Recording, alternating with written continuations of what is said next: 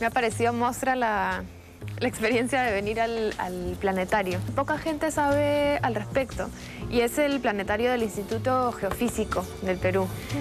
¿Hace, hace cuánto eh, se gestó este, este proyecto y ya lo, lo tuvieron listo? Ya. Bueno, el proyecto tiene varios años y todo ello eh, en particular gracias justamente a la gestión del doctor Mutsumi Shizuka. Entonces son, si no me equivoco, es desde el año 2008 Ya. que el planetario ya está acá. Me parece que es un plan totalmente diferente y vale muchísimo la pena porque el, el propósito de ellos es, eh, a través del planetario y las distintas actividades que tienen, es que, que el público general y sobre todo los niños y los jóvenes como que tengan eh, un, un acercamiento a, a la astronomía. Bueno, este es el planetario, es lo que llamamos la sala domo. En el centro hay un proyector. Ese proyector es el que justamente nos muestra un cielo nocturno simulado, con Ajá. estrellas, con planetas. Debe ser increíble. Claro, el domo, evidentemente, Claro, domo por es- la forma del Claro, exacto. La gente se ubica cómodamente en las sillas y entonces aprecia ese cielo simulado estrellado que desde Lima normalmente no podemos ver, ¿no? Porque Lima usualmente, digamos, está nublado y entonces nada que ver. Eso me encanta, ¿sabes por qué? Porque nos pasamos eh, todo el invierno reclamando el cielo estrellado y en Claro, realidad claro. podríamos venir acá y... Aquí al menos eh, las personas pueden comprender un poco más acerca del cielo estrellado. Por ejemplo, conocer un poco sobre las estrellas Sí. más brillantes del cielo, Las constelaciones. sobre las constelaciones.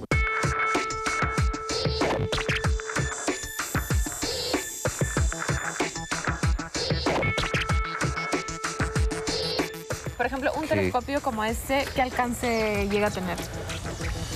Ya, bueno, un telescopio realmente no tiene esa propiedad llamada alcance. En el sentido de que, por ejemplo, con uno así yo puedo ver la gran galaxia de Andrómeda, que está más o menos a dos millones y medio de, kilo- de años luz de distancia de nosotros. Y sin embargo no puedo ver algún pequeño asteroide en el cinturón de asteroides de nuestro sistema solar, que está aquí nomás. ¿Y por qué es eso? Y eso porque la galaxia de Andrómeda es sumamente eh, brillante. Ya. Es un conjunto de miles de millones de estrellas. En cambio, el asteroide es básicamente tenue. Refleja tenuemente la luz del Sol. Puedes hacer un plan distinto con tus amigos y venir acá o, o hacer un plan con, con tus hijos y, y programar este, con sus amigos o un cumpleaños, un fin de semana, lo que sea. Pero me parece que para los chicos es es súper importante este, alimentarles esta, esta curiosidad. Desde Lima, por ejemplo, aparte de la luna, que es sumamente, sumamente bella, o sea, la luna se ve muy bien con un telescopio pequeño incluso. Este nublado... No, tiene que estar Tiene que estar despejado el despejado. cielo. O sea, normalmente es en verano. Ajá.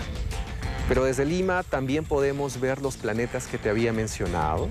Me ha encantado conocer el, el planetario y las posibilidades que tenemos en realidad. Una vez más que decimos que no hay planes en Lima, ese es un plan fantástico, me parece, eh, tanto para venir con niños como, simplemente para venir eh, con amigos y, aprender, aprender de, de lo que somos y de lo que nos rodea.